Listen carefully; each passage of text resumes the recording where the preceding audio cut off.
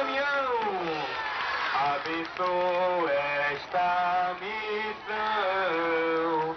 Virgem Mãe, Senhora nossa, dai a tua... Timbaúba do meu tempo.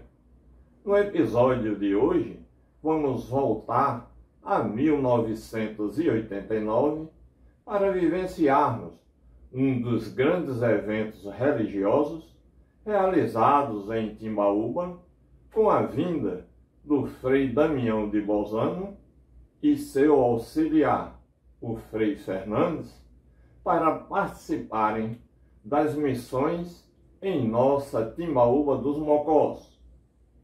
No início da tarde de um dia do mês de setembro de 1989, uma multidão se acumulava em frente à igrejinha de Mocós, à espera da chegada do carismático Frei Damião. Após a sua chegada, desfilou em carro aberto em companhia do pároco Monsenhor Orlando e uma religiosa da Ordem Franciscana de Maristela, passando pelas ruas Doutor Ferreira Lima, Maciel Pinheiro, Doutor Alcebiades e, finalmente, a Vigário Augusto, onde muita gente o aguardavam em frente à igreja de Nossa Senhora das Dores. Mesmo cansado, após uma longa viagem em uma caminhonete, Frei Damião acolheu a todos e celebrou uma missa campal no largo da rua Vigário Augusto, em frente à igreja matriz. Nas ruas, várias empresas de Timbaúba manifestavam seu apreço e saudavam a chegada dos missionários, através de faixas afixadas em locais estratégicos e bem visíveis. No dia seguinte, ainda de madrugada, Frei Damião já estava de pé para a realização das pregações missionárias, o que me fez lembrar a música interpretada por Luiz Gonzaga, dedicada a Frei Damião, que dizia o seguinte: Quando o galo canta na madrugada, já toda a gente de pé se benze na procissão, numa marcha santa, dentro da alvorada.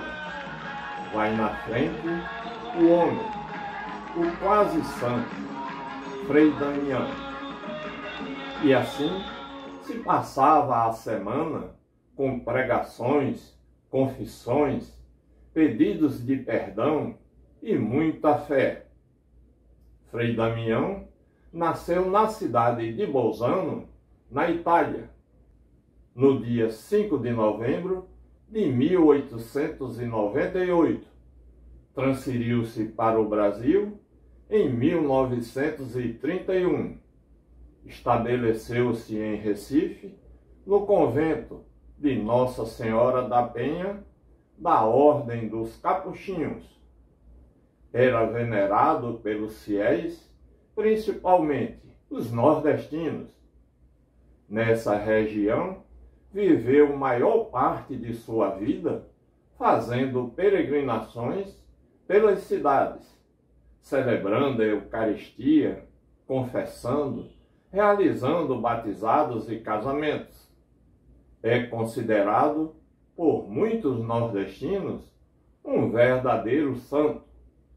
Faleceu em Recife em 31 de maio de 1997 e seu processo de beatificação e canonização se encontra em andamento desde 31 de maio de 2003.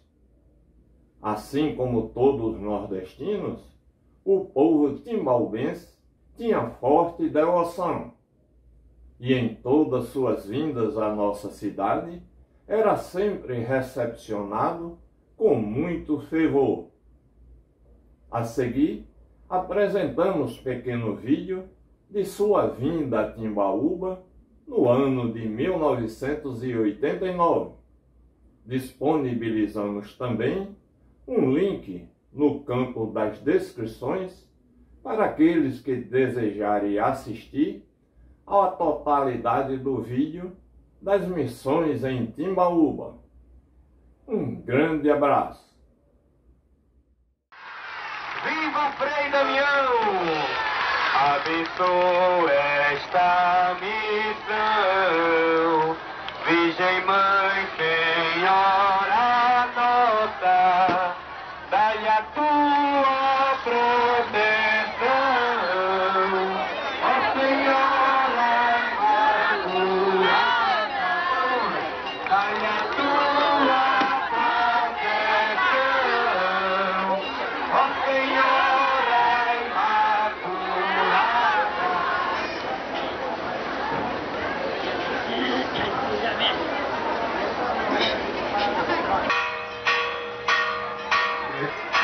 you.